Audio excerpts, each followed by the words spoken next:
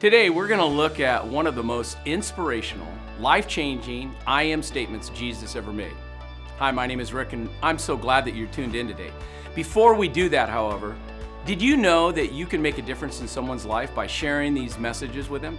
In fact, we get emails from people all the time that say, My friend shared this with me, and it really helped me. Thank you very much. Just by clicking the share button below, you can do that. Also, if you want to get the latest information and resources from Hope, just click the subscribe button as well. Now, watch this.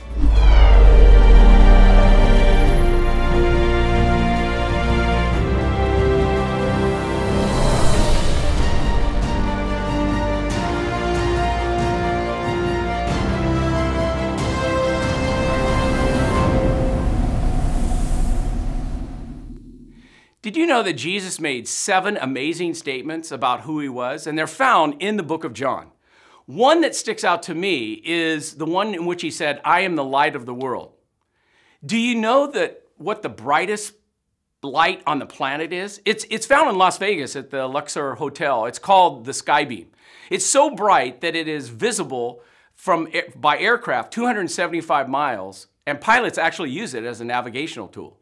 According to National Geographic, the Skybeam is strong enough to read a book by 10 miles out in space. Now that's bright. But a few years ago, scientists at the University of Nebraska created a laser beam that is a billion times brighter than the sun. Guess what? Do you know who created the sun? In fact, who created the light? See, Jesus makes that incredible I am statement in John chapter 8, where he says, Jesus says, I am the light of the world. But he also says, look at what it says in that verse. Whoever follows me will what? Will never walk in darkness. But what will they have? We will have the light of life. See, if you follow Jesus, you will never walk in darkness, which is a good thing because darkness can be scary, right? Uh, were you ever afraid of the dark as a kid? I know I was. In fact, I started, I didn't start out that way. I remember where it all started, however. I was eight years old. My mom and dad had went out to dinner and they left my brother to babysit me. But big mistake for him and for me because when it got dark, he said I was gonna, he was gonna go downtown or go down the street to the grocery store and get us a Coke. I said, no, no, no, no. Mom said you need to watch me. He said, quit being a baby. You'll be okay. When he walked out the front door, he went around to the back door and was making a big noise like someone was breaking into the house. I got really scared and went into my bedroom and shut the door. The noise got louder and louder, and then I saw the door handle to the door that I, of the bedroom that I was in was starting to move. He pushes the door open and yells. All of a sudden, he froze. He froze because he was looking down the barrel of a nine millimeter German Luger that my grandfather had given me uh, that he got in World War II. He started to panic and started to apologize for scaring me. He said, uh, put the gun down, Ricky. I'll, I'll, I'll take you to the store with me. I said, you ever gonna scare me again? He said, never. I put the gun down and told him that it wasn't loaded. Then he beat the you know what out of me. And, and after that, I was always scared of the dark. See, Jesus contrasted light and darkness when he said to Paul, I am sending you to the Gentiles to open their eyes so that they may turn from darkness to light and from power of this uh, power of, of Satan to God. You, have probably heard that that statement Jesus made, I am the light of the world. It's not a new one, but do you know the context in which he gave it? That statement came after one of the greatest grace filled stories in all of the Bible. It shows us three perspectives that can change how you see yourself and how you see others. The first perspective is the law reveals my guilt. See, this story opens up in John 8, and it says this At dawn, Jesus appeared again in the temple courts where all the people gathered around him, and he sat down to teach them. The teachers of the law and the Pharisees brought in a woman caught in adultery. You know this story probably. They made her stand before the group and said to Jesus, Teacher, this woman was caught in the act of adultery. Now that's humiliating, right? It, it, it, they went on to say, in the law, Moses commanded us to stone such a woman. Now, what do you say, Jesus? They were using this question as a trap to have a basis for accusing him. Now, there's a, a lot going on here, socially, economically, as well as spiritually. For example, did you notice who's missing in this story the, of who they pulled out there and dragged out there? Where's where's the guy? I mean, they didn't pull him out that she was with. That's a little bit of a double standard, don't you think? See, they dragged her out, but let him go. The point of any law is to reveal those who are guilty. You break the law, you pay the consequences. You speed, cop pulls you over, you pay the fine. You steal and get caught, you go to jail. The law, for the most part, is black and white. See, they dragged this woman, probably half naked, out in the square. How humiliating would that have been? Yes, she was guilty. Yes, she was wrong. Without a doubt, this was the darkest, most shame filled, humiliating moment of her life. And as Jesus said, as they said, should we stone her? Because that's what the law says. What do you say, Jesus? See, think about that. they put Jesus on the spot. Now, the second perspective is the love reveals his grace. It says, But Jesus bent down and started to write on the ground with his finger. When they kept on questioning him, he straightened up and said to them, Let anyone who is without sin be the first to throw a stone at her. Now, let's just personalize this for a second. Let's say we're there and, and you're looking and Jesus is bending down. What would you do if Jesus started to write one of the times in which you broke the law? A time maybe in which you lied or cheated or thought a lustful thought or took the Lord's name in vain. What would you do? Well, you'd probably do what they did. It says, again, he stooped down and wrote on the ground.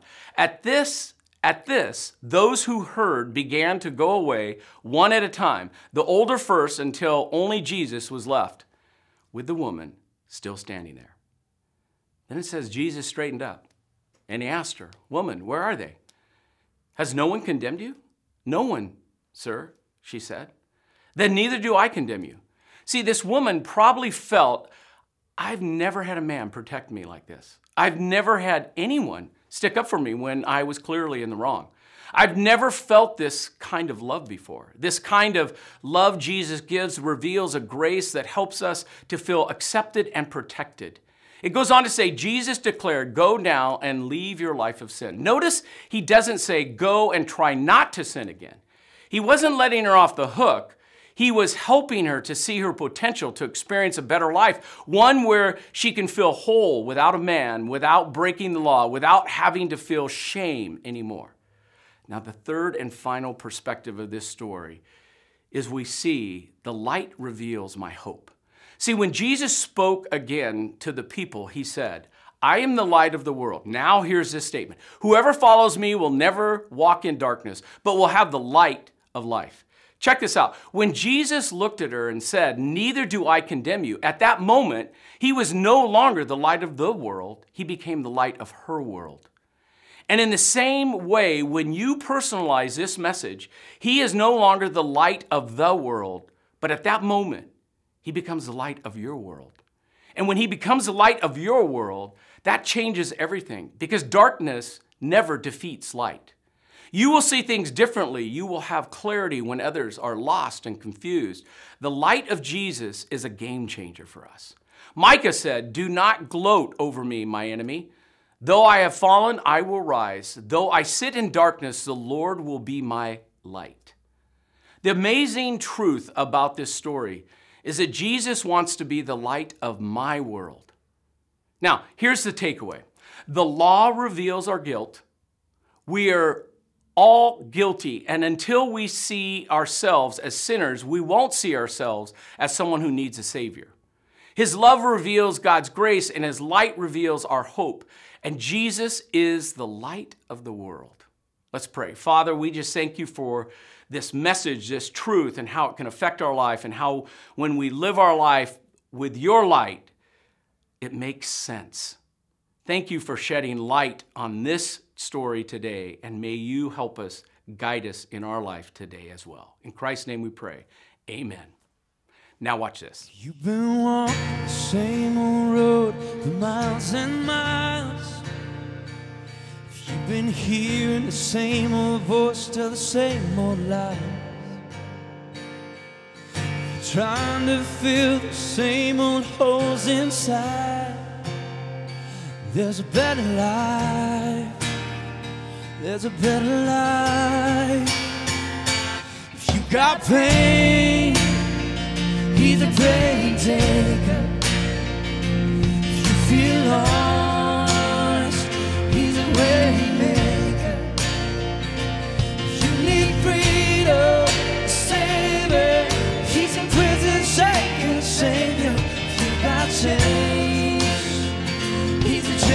Breaker.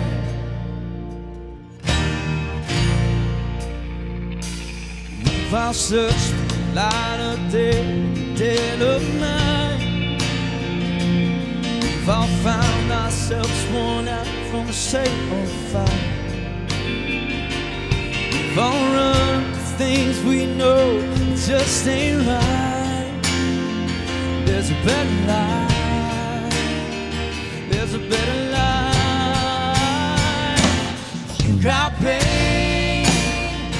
He's a pain taker.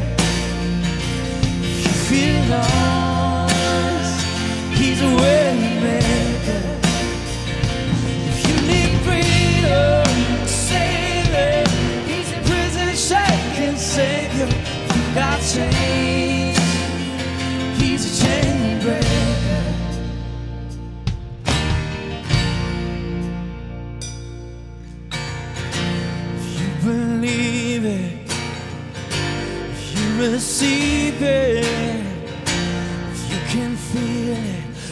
somebody testify, testify. If you believe it, if you receive it, if you can feel it, somebody testify, testify.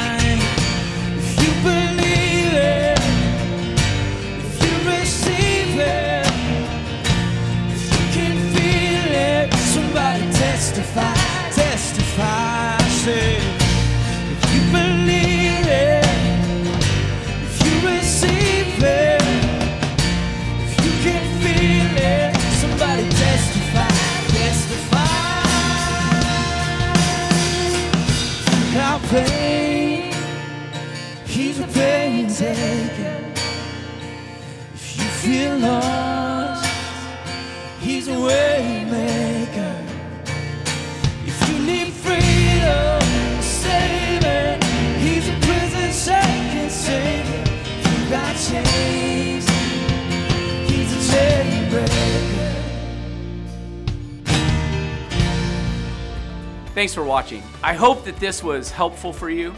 If you'd like to partner with us and spread hope around the world, you can donate a couple of different ways. Either online at hopepd.org, or you can text to give at 84321, or you can mail it to Hope Palm Desert 45900 Portola Avenue, Palm Desert, California 92260. Thanks again for tuning in, and we hope to see you next week, either online or on campus.